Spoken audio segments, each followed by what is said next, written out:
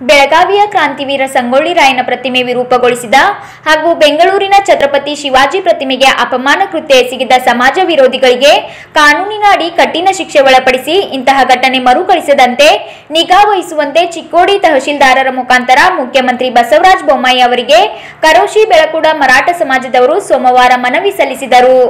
ಇನ್ನು ನಾಡಿನಲ್ಲಿ ಶಾಂತಿಭಂಗ ಮಾಡುವ ಕೃತ್ಯ ನಡೆಸಿದವರ ಮೇಲೆ ನಿರ್ದಾಕ್ಷಿಣ್ಯವಾಗಿ ಕ್ರಮ ಕೈಗೊಳ್ಳಲು ಸರ್ಕಾರಕ್ಕೆ ಒತ್ತಾಯಿಸಿದರು.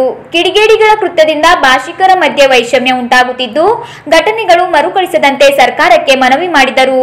ಈ ಸಂದರ್ಭದಲ್ಲಿ ಏಕನಾಥ್ ಜಯದೆ, ಶಿವಾಜಿ ಪವಾರ್ ನಾರಾಯ್ ಜಯದೆ, ದಿಲೀಪ್ ಜಾಧವ್, ಪ್ರಮೋದ್ ಕಾಳೆ, ಸುಶಾಂತ್ ಜಯದೆ, ಸಂದೀಪ್ ನಿಖಂ, ವಿನೋದ್ ಜುಟಾಳೆ, ಸಂದೀಪ್ ಮೋರೆ, ಸುರೇಶ್ ಚೌಹಾಣ್, ದೀಪಕ್ ಬಾಂಡವಲ್ಕರ್, ರವಿ ಮೋರೆ, ನಿರಂಜನ್ ಜ್ಯೋತಿಬಾ, ವಿಜಯ್ ಮೋರೆ ಸೇರಿದಂತೆ ಮುಂತಾದವರು ಉಪಸ್ಥಿತರಿದ್ದರು.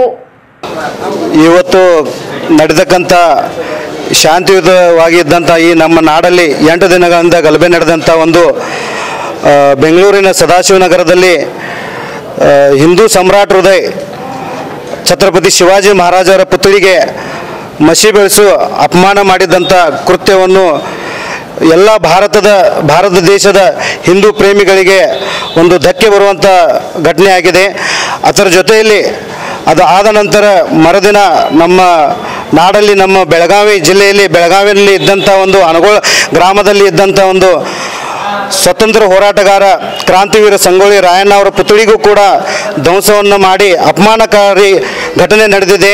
ಆ ಎರಡೂ ಘಟನೆಗಳನ್ನು ಇವತ್ತು ನಡೆದಂಥ ಎರಡೂ ಘಟನೆಗಳಿಂದ ಈ ನಮ್ಮ ನಾಡಲ್ಲಿ ಅಶಾಂತಿಯನ್ನು ನಿರ್ಮಾಣ ಆಗಿದೆ.